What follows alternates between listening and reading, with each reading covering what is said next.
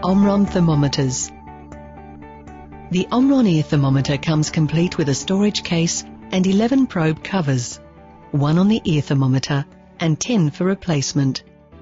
The thermometer has several parts, an LCD screen at the back of the unit, an on measure switch at the top of the unit, and an infrared sensor on the end of the probe and replaceable probe covers. To use the Omron ear thermometer, simply remove the unit from the case and turn the unit on by pressing the on measure switch at the top of the thermometer.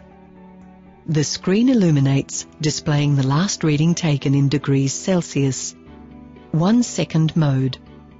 To use the thermometer in one second mode, simply turn the unit on and wait for a flashing Celsius or C symbol.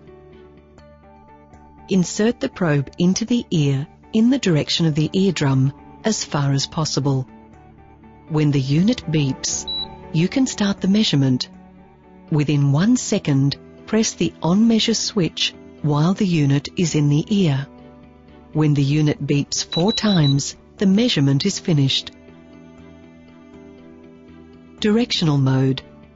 This method is recommended for children and infants as the direction of their eardrum can be difficult to find. To use directional mode, insert the probe into the ear as far as possible in the direction of the eardrum. When the unit beeps, start the measurement. Shift the probe to the right and left. The unit automatically detects the temperature of the eardrum in a maximum of 10 seconds. When the unit beeps two times, press the on measure switch while the unit is in the ear. The measurement is now finished. Rationale for directional mode. In children and infants, the ear canal is slightly kinked, meaning that a reading may bounce off the ear wall.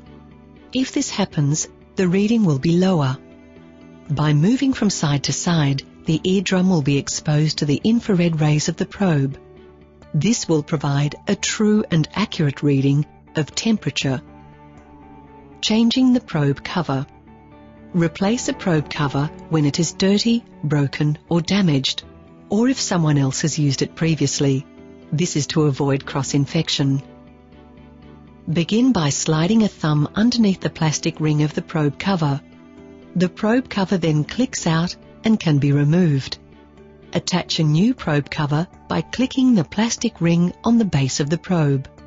The probe cover change is now complete. Omron digital thermometers. There are three digital thermometers in the Omron range.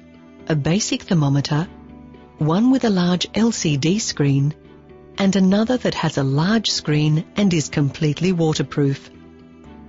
To use an Omron digital thermometer, first remove the thermometer from the protective case. Turn the thermometer on by pressing the on-off button at the base of the thermometer. The screen will illuminate and an L will appear with a flashing C or Celsius symbol. Insert the digital thermometer under the tongue of the user and close the mouth. After approximately one minute, the thermometer will begin beeping when the highest temperature is recorded. Now remove the thermometer from the mouth and read the temperature.